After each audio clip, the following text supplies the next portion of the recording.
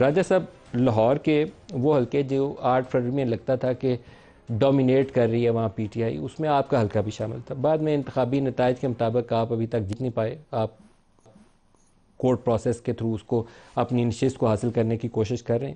لیکن ابھی صورتحال تھوڑی مختلف نظر آئی ہے۔ یہ جو ووٹرز کے اندر ان کی انٹینٹ ٹو ووٹ ہے یا موٹیویشن ٹو ووٹ ہے، اس میں کمی آئی ہے۔ اس کی کیا وجہ؟ ہے دیکھیں ایک تو ویسے ہی ضمنی انتخاب میں ٹرن آؤٹ کم ہوا کرتا ہے، کیونکہ ظاہر ہے، دو چار سیٹوں پہ انتخاب سے حکومت پہ تو فرق نہیں پڑنا، حکومت تو جس طرح بھی بنی، ایک بن چکی ہے، ایک تو وہ وجہ تھی۔ لیکن دوسری میں آپ کو بتاؤں، دو وجوہات اور ہیں۔ میں اس الیکشن کیمپین کا حصہ رہا دیکھتا رہا کہ کیا ہو رہا ہے۔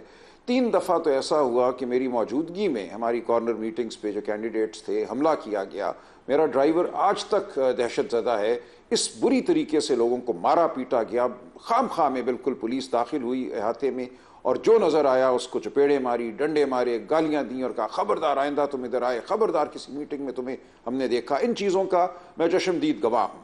اگر آپ ایک کیمپین کے دوران یہ کرتے ہیں، ہفتے میں دو چار دفعہ آپ سراسیمگی پھیلا دیتے ہیں، دہشت پھیلا دیتے ہیں، تو آپ لوگوں کو مایوس کرتے ہیں، ان کو آپ انتخابی عمل سے دور رہنے کی ترغیب دیتے ہیں۔ ایک تو یہ تھا کہ ایک خوف کا جو سما تھا، وہ اس کیمپین کے دوران لاہور میں کم از کم میری نظروں کے سامنے قائم رہا۔ الیکشن سے ایک دن پہلے بھی، الیکشن والے دن بھی یہ بات اڑتی رہی کہ پولنگ ایجنٹس کو اٹھا لیا گیا ہے۔ ان کے اوپر ایف آئی آریں ہو گئی ہیں غیر متعلق معاملات میں، تو ایک تو یہ معاملہ تھا۔ دوسرا معاملہ یہ کہ اس کیمپین کے دوران بارہا لوگوں نے مجھے یہ کہا کہ دیکھیں راجہ صاحب، آٹھ فروری کو کیا ہوا؟ ہم نے ووٹ آپ کو دیا۔ اب تو اس ووٹ کی کوئی وقت ہی نہیں رہی۔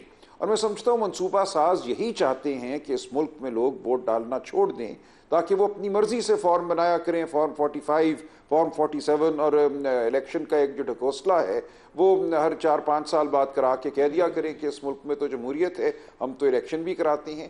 تو لوگوں کو جو ایک طرح سے انتخابی عمل سے الیکشن کے عمل سے متنفر کرنے کا ایک ارادہ تھا۔ ہو سکتا ہے وقتی طور پہ کسی حد تک وہ کامیاب ہوا ہو۔ تو اس ملک میں ایک بڑی شدید خواہش ہے کہ جمہوریت کو محدود کیا جائے لوگوں کو جمہوریت سے دور رکھا جائے جمہوریت کو جمہوری عمل کو کو برا نام دیا جائے۔ میری ایک میری ایک اور اسیسمنٹ ہے وہ ہو سکتا ہے آپ اس سے اتفاق نہ کریں۔ میری اسیسمنٹ یہ ہے کہ جو پالیٹکس کی پاکستان تحریک انصاف نے آٹھ فروری کے انتخابات کے بعد آج تک اس نے ووٹرز کو ڈی موٹیویٹ کرنے میں رول ادا کیا ہے۔ عمران خان کو لوگوں نے ووٹ ڈالا تھا، اس لیے کہ ان کی پارٹی جیت جائے۔ آپ کی پارٹی جیتی زیادہ تعداد میں نشستیں آپ کے پاس تھیں۔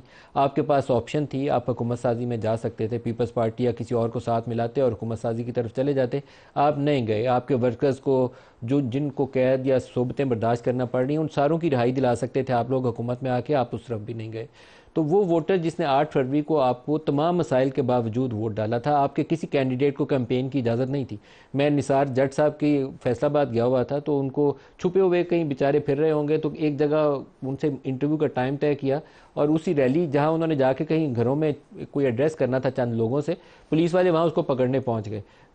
قریشی صاحب کے بیٹے کو رات ساڑھے بارہ بجے میں نے انٹرویو کیا۔ دو آپ کے کینڈیڈیٹ تھے، وہ بیسمنٹ میں چھپے ہوئے تھے، رات دس دس گیارہ بجے میں نے انٹرویو کیا۔ تو آٹھ فروری سے بری صورتحال اکیس اپریل کو نہیں تھی۔ میرے خیال میں آپ لوگوں کی جو پالیٹکس ہے نا، کہ آپ حکومت سازی کی طرف نہیں آئے، اور وہی ایک جنگ و جدل ہے پاکستان کے اندر، مشکل ہے لوگوں کی زندگیوں کے اندر، اس نے لوگوں کو ڈی موٹیویٹ کر دیا۔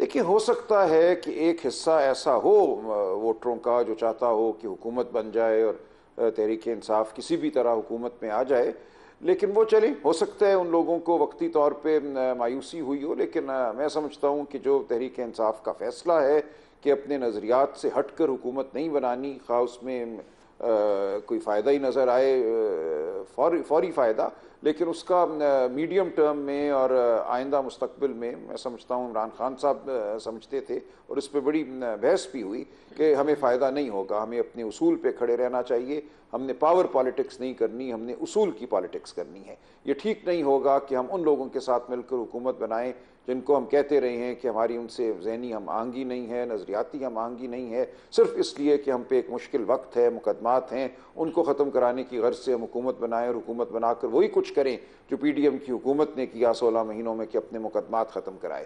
ہم مقدمات کا عدالتوں میں سامنا کریں گے۔ عدالتیں خواہ کیسی بھی ہوں۔ عدالتوں کے حوالے سے ہمیں شدید تحفظات ہیں۔ لیکن اس کے باوجود ہم حکومت سازی کے ذریعے اپنے مقدمات ختم نہیں کرائیں گے۔ ہم ان کو عوام کی عدالت میں رکھیں گے۔ کو جو قانون کی عدالت ہے، ان میں بھی رکھیں گے اور لڑتے رہیں گے۔ یہ عمران خان صاحب کا فیصلہ تھا، جس کی تائید پارٹی کی لیڈرشپ نے کی۔ تو ہو سکتا ہے اس فیصلے سے وقتی طور پہ کچھ لوگوں کو مایوسی ہوئی ہو، لیکن یہ ایک مفروضہ ہے۔ یہ آگے چل کے دیکھیں گے کہ صورتحال کیسے پیدا ہوتی ہے۔